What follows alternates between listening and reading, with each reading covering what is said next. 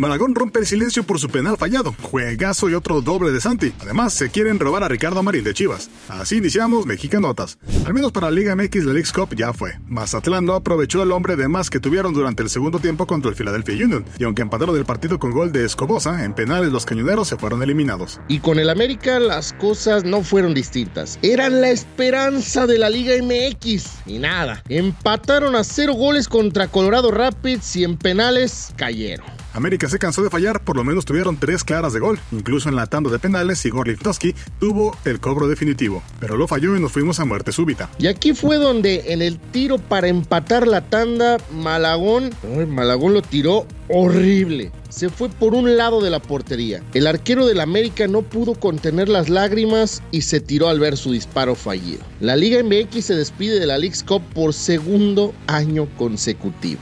Tras el fracaso del América y por supuesto que ese cobro de Malagón se llevó todas las críticas, el arquero del América terminó destrozado. La vergüenza y estado anímico bajó, no lo permitió hablar ante los medios, pero le pidió a Henry que fuera el intermediario. Y el capitán azul crema salió a decir que Malagón se siente responsable de la eliminación, pero al mismo tiempo dejó claro le hicieron saber esto no es así, pues todos tuvieron responsabilidad. Él se siente responsable por cómo se dieron las cosas, pero van a pasar los días. Él es muy fuerte y se va a reponer de esto, pero responsables somos todos en la cancha, sobre todo a la ofensiva que no hicimos nuestro trabajo. Dejamos la novela del drama que vivió el América ayer y vamos a la novela que sigue viviendo Orbelín. Atenas una vez más le dijo que no, que del equipo no sale. La tercera oferta que lanzó Rayados fue rechazada y eso que ya se acercaba a los 10 millones de dólares. Otro tema que ya es dramático es lo de JJ Macías. Se volvió a lesionar. El delantero tiene una lesión muscular misma que lo dejará fuera de las canchas entre dos a tres semanas. Vamos a noticias más chidas, amigables, y esas solo nos las da nuestro bebote.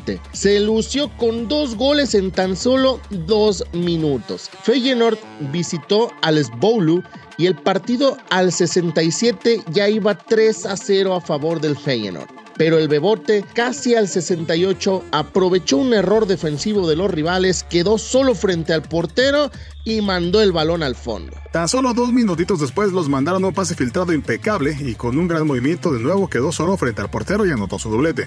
Doblete del mexicano que sigue demostrando en la Eredivisie que es el goleador de la liga. Si de algo nos sirve quedar fuera de la League's Cup es que nuestra bendita Liga MX se reanuda. Aunque seguían dos equipos en la competencia que el próximo fin de semana se iba a jugar la jornada 5. Y ahora que todos quedaron fuera, pues con más razón, ya para qué nos esperamos más. Eso sí, le van a preguntar al América y Mazatlán si quieren jugar este fin de semana, pero lo más seguro es que digan que sí. Aunque no anda muy bien que digamos el 4K este torneo con Chivas, resulta que hay un equipo de la Liga MX que se lo quiere quitar a Chivas, y es que con la lesión de Lucas Cavallini y la franja necesita de manera urgente otro delantero. El detalle sería que a Chivas le interesa vender, mientras que Puebla buscará un préstamo. Ahora mismo, en Chivas, Marín parece ser la tercera opción para Gago. La hormiga González le está ganando el puesto, pero ya veremos si la franja logra quedarse con el 4K. Desde el viernes se los dijimos gambeteros, aunque estaba el rumor de que un equipo ruso lo quería, pues se veía complicado que saliera del América a Rusia, no va a querer ir Fidalgo, y literal